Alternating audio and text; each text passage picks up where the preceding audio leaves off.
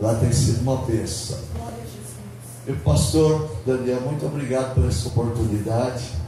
E foi uma oportunidade de rever meus amigos. Amém. Quanta gente eu conheço aqui e ele me conhece. Eu nem vou citar nomes, né? O, o Francisco, para mim, continua sendo Chiquinho.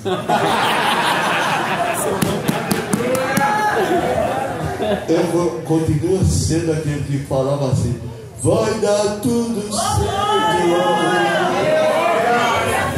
Aleluia. E deu, e deu, né? Ô, glória.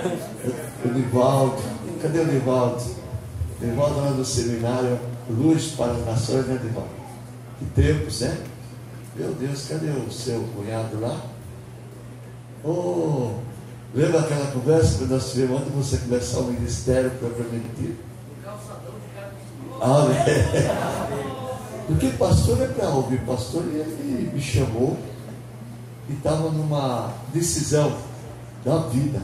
Ele vai que Deus é contigo, vai Aleluia. Amém? Glória a Deus. Mas é muito bom ver vocês, pastor Daniel, muitos parabéns por esse empreendimento dos céus que você fez aqui. Amém, meu irmão? Amém. Só os fortes têm coragem de fazer isso.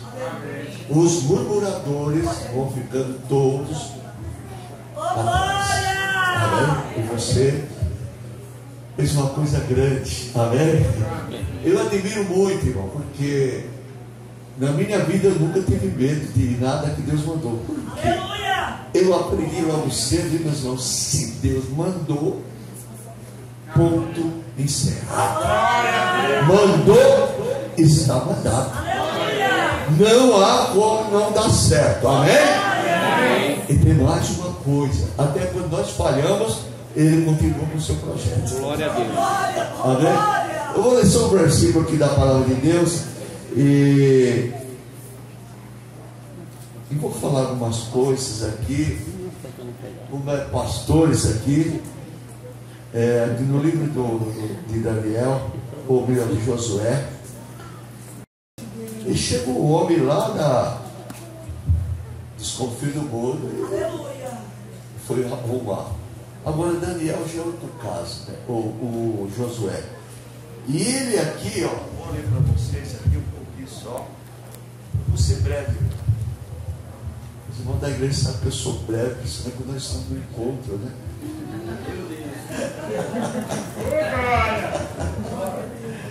E Nival, não, você louco, Nival. E bonito também. Sabe por quê, Nival? Porque feio é um pecado. Aleluia. E aqui no, no primeiro capítulo de Josué diz assim: Sucedeu depois da morte de Moisés, servo do Senhor, que Deus falou a Josué, filho de Nu, servo de Moisés, dizendo: Moisés, meu servo é morto, levanta-te, pois agora passa este Jordão. Tu, este povo. E até que eu dei aos filhos de Israel. Todo lugar que pisar a plantas dos pés, vos tenho dado. Como disse a Moisés. Amém. Só. Glória a Deus. Para você, pastor. Quem é pastor que levanta a mão, por favor? Glória a Deus. Meu Deus amado. Essa palavra para você. Toma posse. Todo lugar onde você colocou a planta de teus pés, o Senhor te dará. Se for para frente, tem uma palavra que fala para nós. Seja.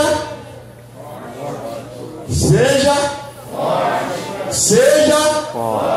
E. É falar com o pastor, né? Então, irmão, o seu não me conhece, a maioria aqui, eu sou Abraão José da Costa. É, Me converti e me batizei no dia 7 de maio de 1977, no, no milênio passado, no século passado, e antes da guerra, da morte da que aconteceu. Amém? E hoje eu estou aqui, juntamente com vocês, para dizer muito obrigado. Tenha um pouco de paciência comigo, porque o Edson está ali, né? Edson, você está ficando branco, né? Amém? Glórias a Deus. Mas é, é bom. Olha isso aí. Irmãos, eu, eu quero falar para pastores o que é ser pastor e como ir em frente. Eu, filho de uma família extremamente católica, meu pai era um homem maravilhoso. Ele era um celebrante da Igreja Católica Apostólica Romana. Só romana, porque apostólica não tem nada, né? E ele é uma pessoa muito direita. Um homem, eu nunca vi uma mentira do meu papai. Nunca vi. Nunca vi. Nunca vi, viu, pastor? Nunca vi meu pai mentir. Eu gostava de tomar um, uma groselha. Né, João?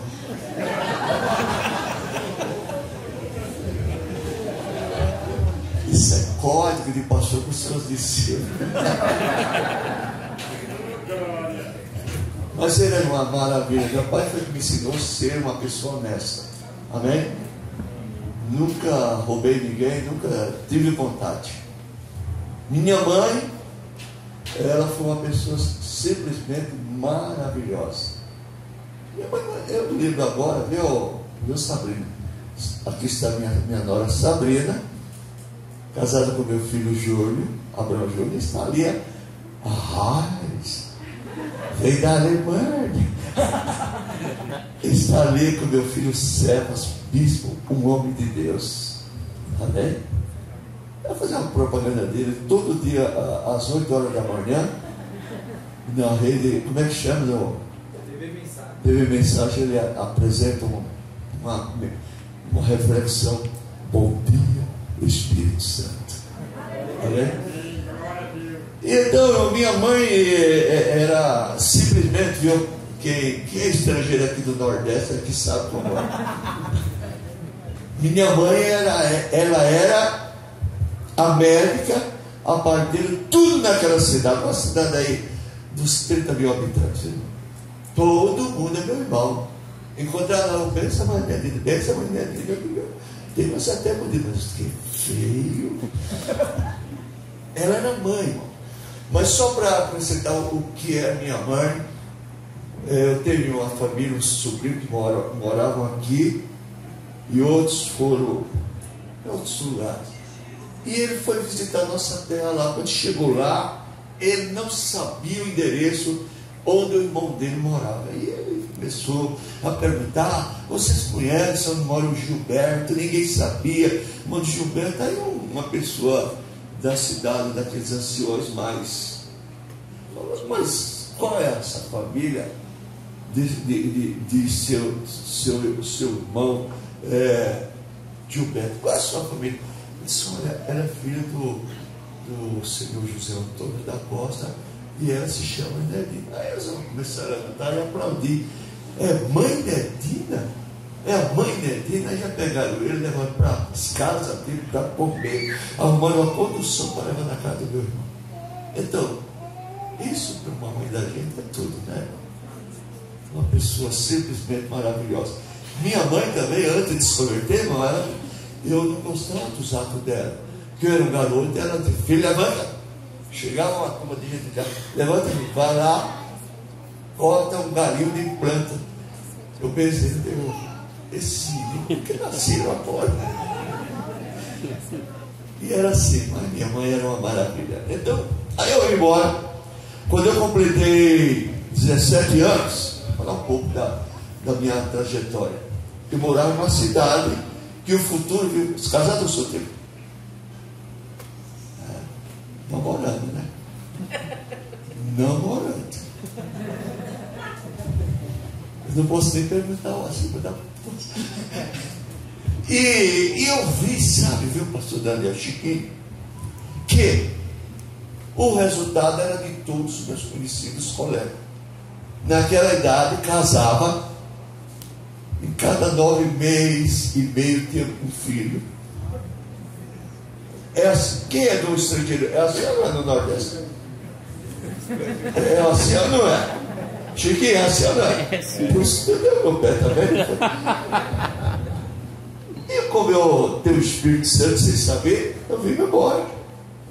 Fui parar em Goiás, fui escravo numa fazenda. É glória a Deus. Escravo mesmo. Escravo é você dormir com o jagunço da porta, aleluia. Mas o Satanás quebrou a cara. Como era mais novo, lá era uma estrelice. O terceiro andar era encostado da, do telhado. E em Goiás faz um calor horrível. E eu chorando, com saudade de mamãe, do papai e meus irmãos. Eu pus a mão assim no, no telhado assim. E eu vi uma coisa macia.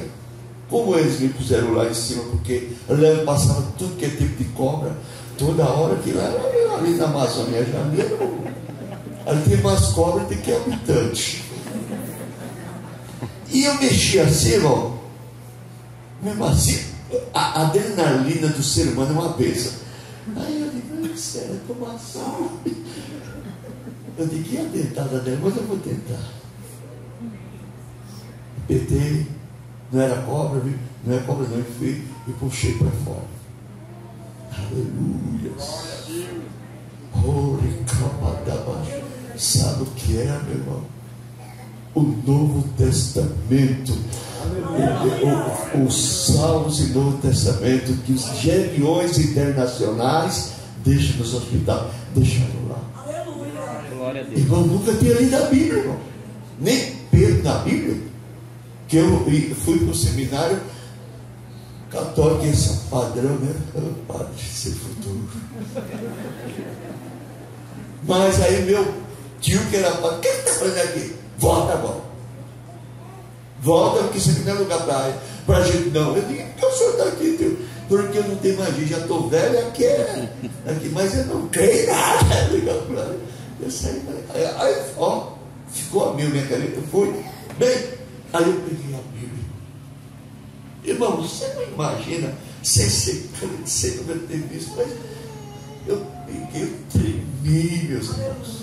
Tremi, irmãos. E eu abri assim, céu ele caiu, irmão. Evangelho de João 3,16. Aleluia. Porque Deus amou o mundo de tal maneira que deu seu Filho unigênito para que todos que nele crêem mas tenham a vida eterna. Ô, glória. Eu não entendi nada, mas senti a presença de Deus. Sabe o que é que eu faço? Eu leio a Bíblia dele, eu já leio umas dezenas de vezes. O que eu entendo, eu dou glória a Deus e prego. O que eu não entendo, eu acredito. Não é a palavra de Deus? Aleluia. Quem sou eu para é, contestar a Bíblia? Quem sou eu, irmão? Quando eu li a Bíblia a primeira vez, eu, eu quando eu cheguei naquela passagem que Abraão falou, Sara, fala para o farol que você é minha irmã. Eu digo, ai, já está. Vou parar por aqui, não me agradou. Não. Mas eu estava com tanta sede, um pastor que eu vou ler assim mesmo. E depois eu entendi o resultado. Então, irmão, se naquela fazenda, naquele inferno, pode dizer, eu encontrei o tesouro de Deus no meio do inferno. No meio do inferno. Eu encontrei. Aí os outros coitados que estavam presos comigo, o que, é que você achou? Achei a Bíblia, mas você pode pegar na Bíblia? Não pode, eu digo, não pode? Eu já peguei. Pois aqui, aí comecei a ler. Irmão, primeiro dia era, era 18 presos, 18 escravos. No terceiro dia, irmão, nós comia lá, porque a comida era boa. Comida de excelência, irmão. Mas comia mesmo, porque também escravo tem que comer, senão não aguenta trabalhar de só ação, né? Aí eu, aí chegava lá, pastor, aí começa a que? Pastor vai ler a Bíblia agora. Então me chamaram de pastor. Me chamaram de pastor. Eu tive um pastor, um filho de pastor, um neto, não sei quem. Comecei a ler a Bíblia e foi uma bênção. Mas logo eu fui embora. Por aqui eu tenho esse negócio, porque é uma história grande. Fui falar, parei em Goiânia, oh, glórias a Deus, cidade maravilhosa, Goiânia. Cheguei, foi, sabe, prefeito estrangeiro não tem profissão, vai ser engenheiro, servente pedreiro. Furando os buracos de três por três, nunca, nunca me esqueço. É desse.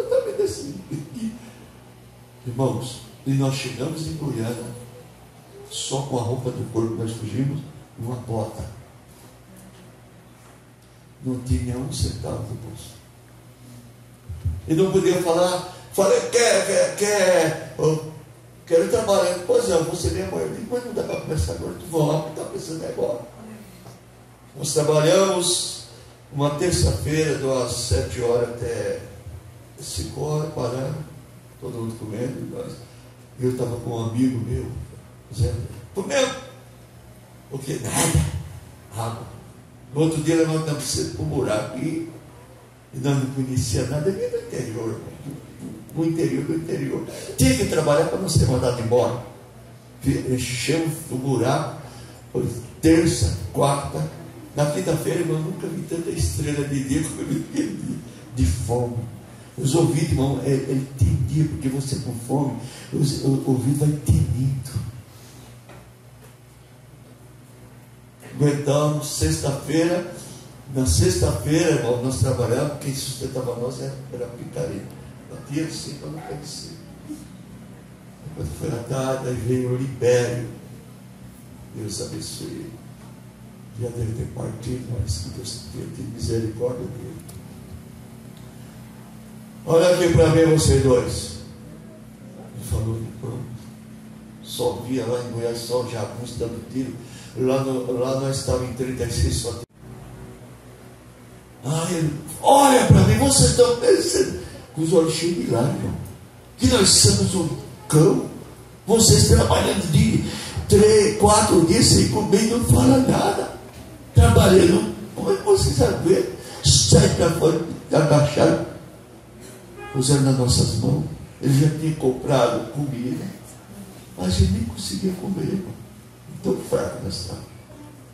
Então, isso é a vida. Eu encontrei a Bíblia. Eu já sabia mais ou menos o que era o sofrimento de Jesus. Aí, você, aí eu pedi para não, que dormir, foi dormir lá. Sabe quem dormia lá? Um crente desviado da congregação cristã do Brasil. Qualquer coisinha falava uma palavra, para. Ele não estava dizendo, ele estava afastado. Para com isso. Toda vez que você fala um palavrão, vê o diabo. Mas daí a pouco eu vi ele fumando, eu digo, olha aqui. Olha aqui, esse cara. Você fala para você fumando. Eu disse, eu estava fumando até agora. Estava esperando vocês. Esperando vocês. Ele começou a cuidar de nós. Né? Naqueles dias, olha o tempo que vinha, estava começando já vir para o Brasil, era em 1960, 61. A maioria que nem nasceu, a não tinha nascido. Ah, estava vindo um dos grandes pregadores, não era o Billy não, mas era um famoso daqueles tempos. Aí o Jonas, quando foi no sábado, o Jonas, Jonas mesmo, ele se arruma aí direito, se arruma, põe a melhor roupa eu roupa, é, aqui está ali, só tem duas. só tem duas peças de roupa, limpo, passar. Passar, passar no corpo, porque não, tinha de passar. Aí eu pus a roupinha Vamos lá, ele disse, que eu desconfiei. Quando ele põe a melhor roupa, toma um banho aí. Eu digo, o não vai me levar minha a igreja. Digo, eu vou mesmo. Pior que está, não pode ficar. No Timão. Naqueles tempos lá, você, pastor, não fique entristecido que tem pouca gente da tua igreja. Você não é uma igreja pequena Você é uma igreja em formação. Você é uma igreja em formação. Amém, irmão? Ouviram bem? Se você for fiel, aí virá as multidões. Se você for um Zé Mané, aí fica você e o Mané.